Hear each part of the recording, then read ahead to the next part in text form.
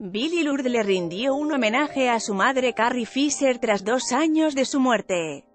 A través de su Instagram, la también actriz compartió dos vídeos donde aparece tocando el piano interpretando una canción. La publicación viene acompañada de un mensaje donde Lourdes explica lo que es perder un ser querido y no saber qué hacer en un aniversario luctuoso. Explica también que el piano fue un regalo de su abuelo a su madre y que el tema fue una de las canciones favoritas de Fisher. Han pasado dos años desde la muerte de mi mombi todavía. No sé qué es lo correcto. ¿Qué se puede hacer en un aniversario luctuoso? Estoy segura que muchos de ustedes sienten lo mismo por sus seres queridos.